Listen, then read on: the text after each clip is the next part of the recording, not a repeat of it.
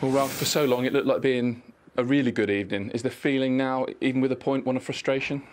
Yes, extremely. It's very difficult to find some positives after this uh, these 90, 95 minutes. Um, we had spells where it, I felt it was our best game since I came here. Uh, on the ball in the first half, in the first uh, 30 minutes, we completely dominated the game. Um, could have scored even two or three goals. But um, again, we saw that uh, we have taken some steps forward, but still quite a, a few things to, to, to, to, to, do, to improve and to do better. I mean, the impetus, um, especially in the last 15 minutes after we were 2 0 up, uh, we have to keep it going and defending as a team. What was better this evening? Let's start with that, because, like you said, for, for most of it, it looked like being the best performance under you. Yes, I mean, uh, the plan was to, to, to press them in, in, in, in, the mid zone area, and we did that very well in the first uh, 30 minutes, uh, controlled the, the, the, game also on, in possession of the ball. Um, and those were the positives in, in, in, most parts of the game. But again, it's difficult to defend them all the time.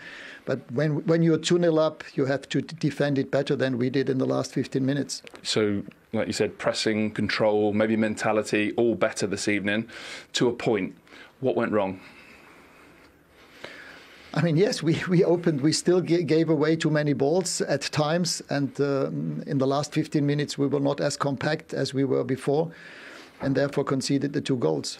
Did you feel like, even when you were on top in the match, you conceded too many chances this evening?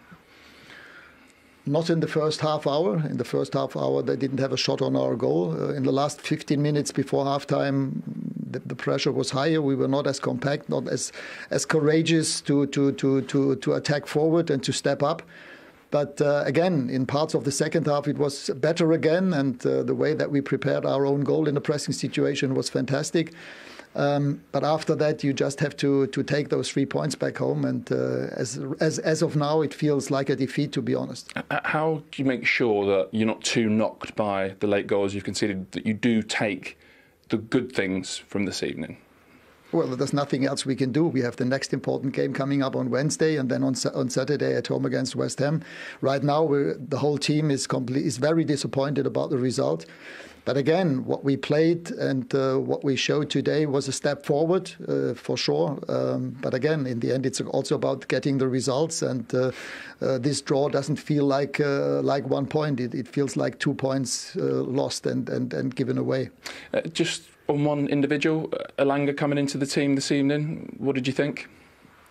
Yeah, he did well. He had uh, two great opportunities himself to score, but uh, he showed what I expected him to show and why I decided to play him from the start. Yeah, you did decide to play him from the start. Jadon Sancho on the bench. Elanga now ahead of Sancho in your thinking?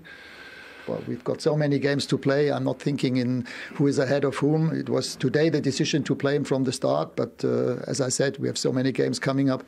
Uh, it could be different in, in, in, the next game. Yeah, and for that next game, do you expect lots of players back, Rashford, Ronaldo, etc.? Well, I expected them back uh, today, but uh, they were not available, and therefore we have to wait uh, and see how the how the situation will be like for, for Wednesday. Okay, thanks, Ralf. Thank you. Thank you.